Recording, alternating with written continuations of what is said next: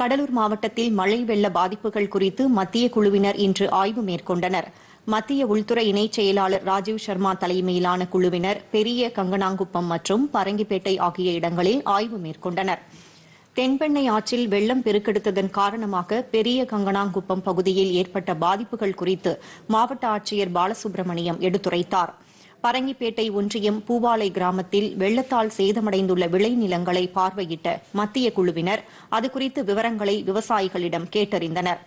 மயிலாடுதுறை மாவட்டத்திலும் இந்த குழுவினர் ஆய்வு மேற்கொள்ள உள்ளனர்.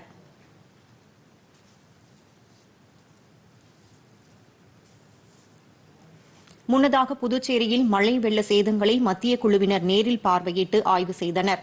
முதலாவதாக கிழக்கு கடற்கரை சாலையில் உள்ள பிள்ளைச்சாவடி மீனவ கிராமத்தில் ஏற்பட்டுள்ள கடல் அரிப்பை பார்வையிட்டனர்.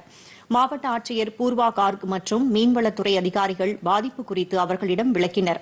அதன்பின் இந்திரா காந்தி சதுக்கம் என்ஆர் நகர் குடியிருப்பு ஆகிய பகுதிகளை மத்திய குழுவினர் பார்வையிட்டனா்